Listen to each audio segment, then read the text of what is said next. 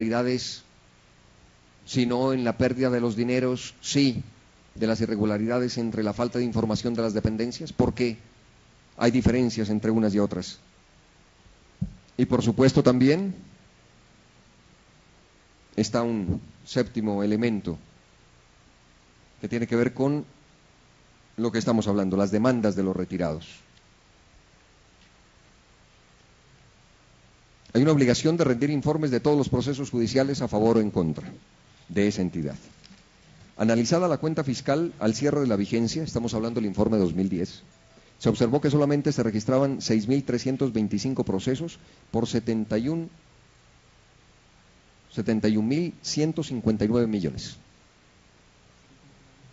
de la vigencia 2010. No obstante, las cuentas de orden y pasivo estimado muestran un saldo de 717.865 millones. Ahí hay una inconsistencia de 646.706 millones. Mala información o lo que sería más grave para que nos expliquen dónde está, por supuesto, ese dinero si nos basamos en esa información. Entonces, le digo al director de Casur, Gustavo Cañas, aquí presente, director encargado, me dice. Me pregunto, se pregunta la opinión pública, se preguntan los policías y militares y yo le pregunto a usted. Esto fue hace año y medio. Hoy queremos saber qué se ha hecho desde Casur y con usted al frente para tomar medidas. ¿Cuáles son los correctivos aplicados? A estas incongruencias que quiero también decirlo, por menos funcionarios públicos han, este, han estado muy emproblemados. Por mucho menos. Eso en el caso de Casur podríamos señalar.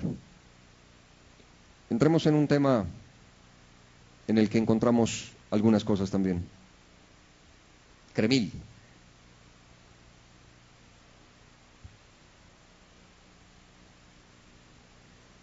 Varias fuentes nos sirvieron para hablar de lo que estamos hablando y de lo que vamos a hablar. Los informes de auditoría gubernamental con enfoque integral de los años 2006, 2008, 2009 y 2010. El informe de auditoría gubernamental con enfoque integral, modalidad regular, Sociedad Hotelera Tequendama 2010, entregado en junio del año 2011, ambos de la Contraloría. Un informe que nos parece bastante interesante de Antonio Hernández Gamarra, el informe del programa por el buen uso de los recursos públicos del año 2006. Las respuestas, que aquí ya las he mostrado, del viceministerio y de Cremil a la proposición aditiva que habíamos hecho y algunos testimonios verbales. Insisto, lo nuestro es control político. Lo nuestro es entender unas dinámicas que no nos parecen apropiadas y alertar a los organismos de control, cosa que solicito, señor secretario, lo que aquí se exponga y todo lo que ustedes hagan como acta,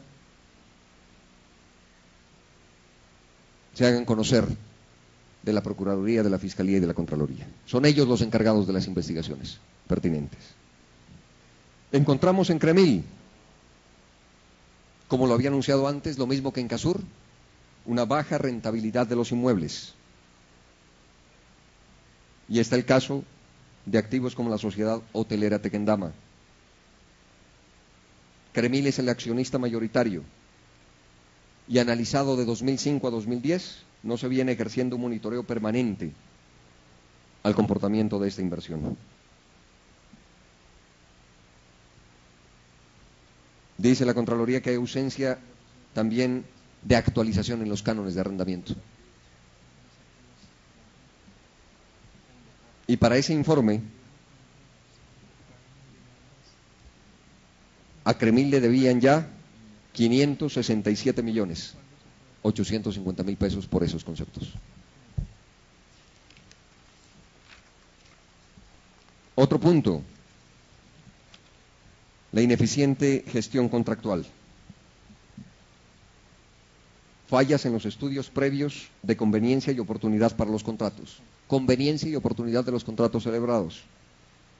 Esto es recurrente en los dos informes, tanto en 2008 como en el año 2010. Pero de las curiosidades que encontré en esos informes, creo que este ya es una demostración muy significativa. Que si se hace bien la gestión de lo público, por supuesto, tendría todo nuestro reconocimiento. Pero ustedes pueden creer que la Contraloría en 2008 dice que Cremil no había actualizado los manuales